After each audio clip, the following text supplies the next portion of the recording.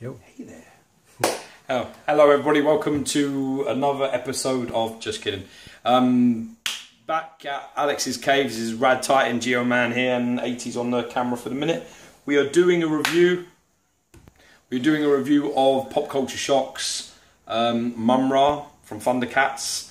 Um, unfortunately, this is um, this is a custom job as well, so this has been painted because uh, I think we did the video before of the original Mumm-Ra and it looked fucking awful. So Alex sent it off to his good friend Ian Wilkinson to be painted again. So we're going to run through it. I'm going to quickly go through the box, hand you over to the man himself to go through his piece, and then we'll be uh, we'll be on.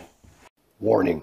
The following video is rated RT and contains scenes of real men reviewing collectibles. Radd Titan cannot be held responsible for any viewers who act in the same manner or will not be liable for viewers spending their money after screening these reviews. Recommend they like, comment, subscribe and share. The following video contains British accents where available.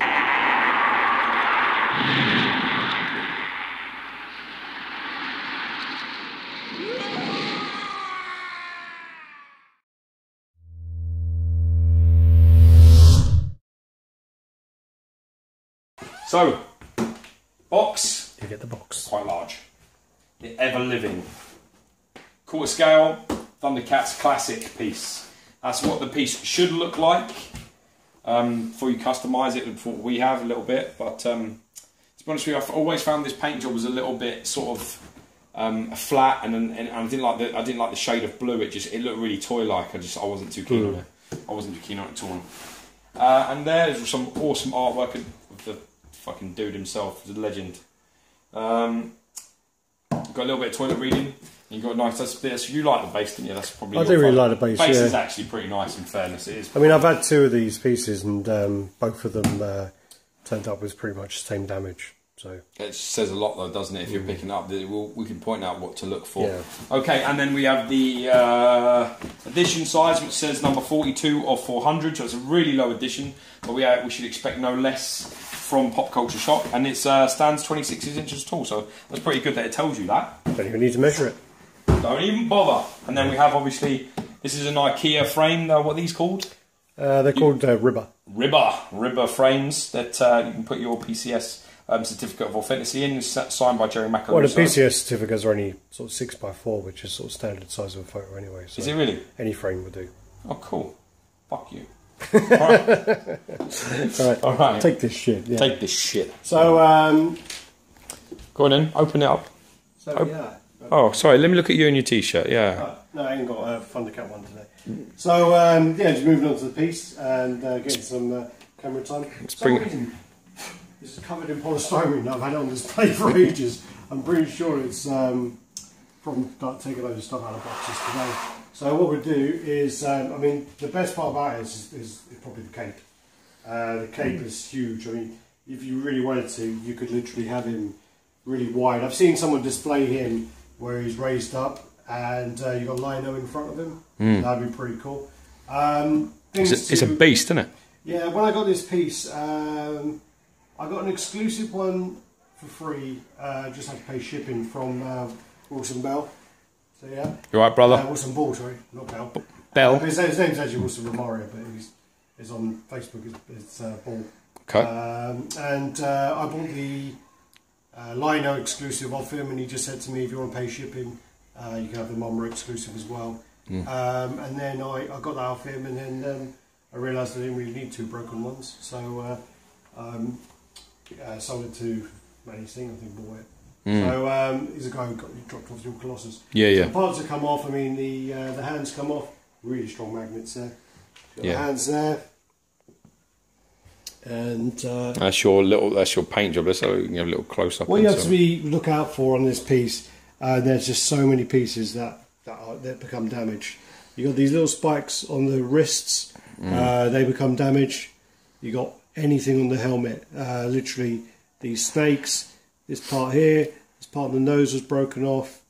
Uh, The you c- you also get this broken. I mean Yeah. this uh, this was repaired and it still ended up getting broken again in shipping. Sorry, my man. Hay fever's bad. Um, so yeah, this got broken again in shipping, but it's no big deal. I mean, just glue it back on. But um, but And the still- snakes, I guess, on the top of the edge, yeah. Yeah, the snakes. This piece, nose piece, is the most common. And the material around the sides they come Uh, off and stuff. these- They're all posable, yeah. all right. Pos- these are all posable, really tough, like uh, wire in there. Yeah. Comes off. Uh, with the exclusive, you've got the light up eyes, Cool. light up sword. I definitely prefer the paint job on this. The colour, it's definitely Yeah, so darker. It's, it's uh, it's a darker paint job. Uh, it's less blue. uh, it's a bit more grey. a, lo- a lot more shading done to it as well. Yeah, So you can actually see Yeah, his definitely. uh, muscular more. Uh, mus- mus- muscular. You can see his muscular more. Yeah. You mean his musculature? Muscular. so uh, and then if you come back, I mean the uh, the cape does drop a little bit. That's yeah, that's one of the other issues with that. There's like a wire under here, so you probably lift that up like that. But the cape is just really cool. It's the definitely the best piece, and there's definitely like like a wire. The wire is like equivalent of like a, A coat hanger. wire coat hanger. Oh, there's a number on the back as well. That's got cool. The number here, so you don't have to lift it up. That's handy for us. because I wasn't going to. Uh, it's, uh, it's 42 400, and um, I do really like the it's a nice metal. Did he touch that, or is that just how it comes? Uh, I don't think he touched up the think yeah, the base is good paint job on it. It looks really good. So, Got a great paint. Good, uh, definitely good shading. And it's, it's got that. I don't, is that brass? kind of like a brassy effect. Yeah, it's cool. Yeah.